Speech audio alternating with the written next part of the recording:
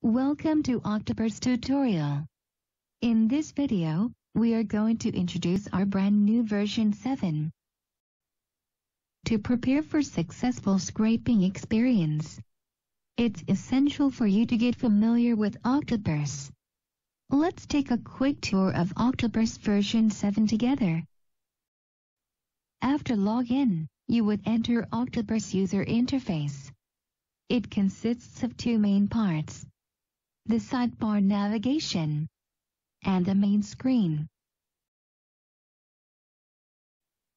Let's begin with the sidebar navigation. On the top is the account username. Place the mouse over your account username, you can find out your account status and the expiration date. Right below are two handy icons. The one on the left is for creating a new task or a new group. The one on the right is to modify account settings. Now, let's see the navigation menu. Dashboard is the main console, where you will manage all your tasks and access the extracted data. We would like to spend some time talking about it. Click on the dashboard item from the navigation menu. The dashboard tab will be added to the main screen. The dashboard provides a complete view of all task-related information, including the task name and task status. In the status description, you can find out more task information, like how many lines of the data extracted, or, if any, that of the duplicated data extracted.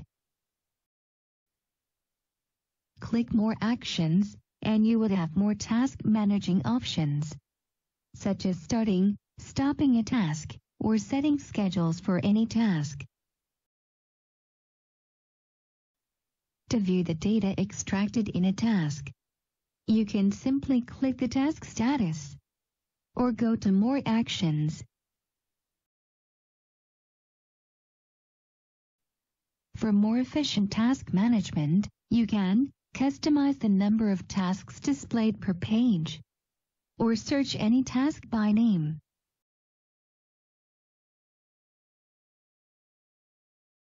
And Octoparse version 7 also supports batch task management. You can start, delete, or export multiple tasks at a time. Well, that's Octoparse dashboard. Let's see the other items on the navigation menu. Tools provides extra help with XPath generation, regular expression, export to database, and data API. Tutorials includes the abundance of learnings associated with all features in Octoparse.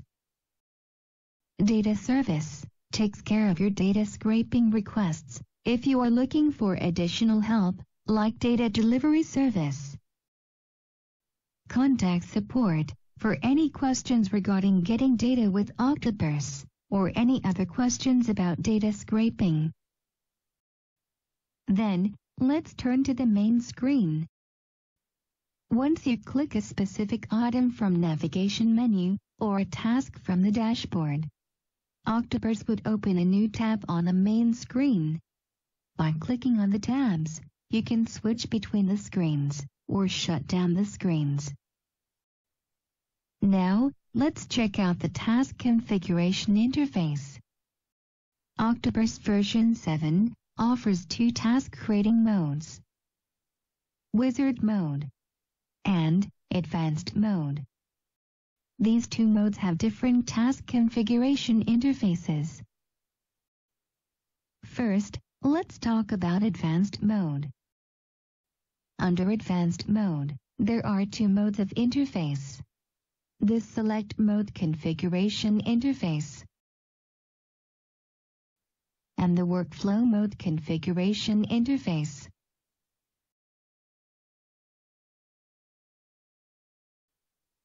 This select mode will give you an easy start to any web scraping jobs. But if we want to see how the task is set up from the beginning, or check the previous step to see if it was added correctly. we need to switch to the workflow mode. After creating a new task, Octoparse would take we to the Select Mode interface by default. We can use the on and off button on the upper right corner.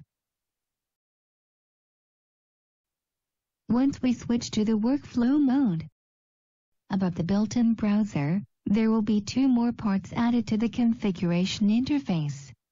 Now, the task configuration interface consists of three parts. The built-in browser, the workflow designer, and the action customizing area.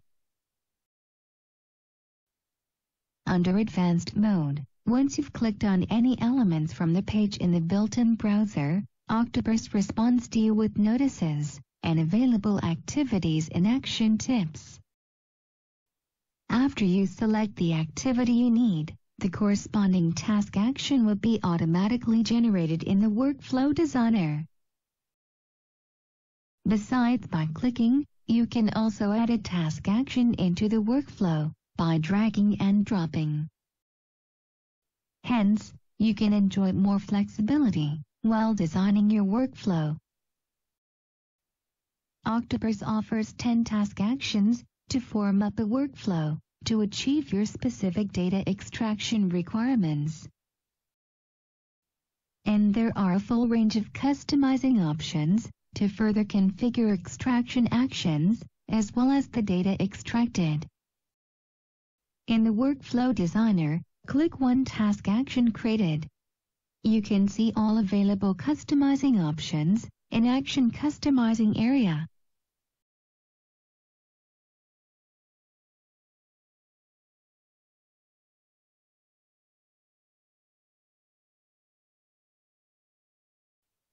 Wizard Mode aims to make scraping easier and faster by predefining the general scraping processes for a few common web structures. Compared with that of advanced mode, the task configuration interface of wizard mode is very simple. Under wizard mode, a task is also built by interacting with the web page in the built-in browser. Just click on the desired data on the page. The data will be captured in the data field above. All we need to do is to follow the guidance and complete the configuration of each step. For the task you've configured, Octoparse offers two extraction ways to get the data. Tasks can be set to run in local or in the cloud. You can start extraction on the task configuration interface or from the dashboard.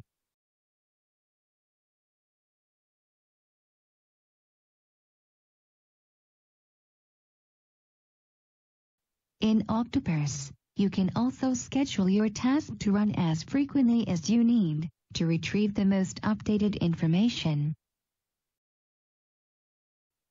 That's it for the Octoparse version 7 introduction. Now, you've known where to start a new task where to check your data when the extraction is done, and where to get help when you need it. Thanks for watching.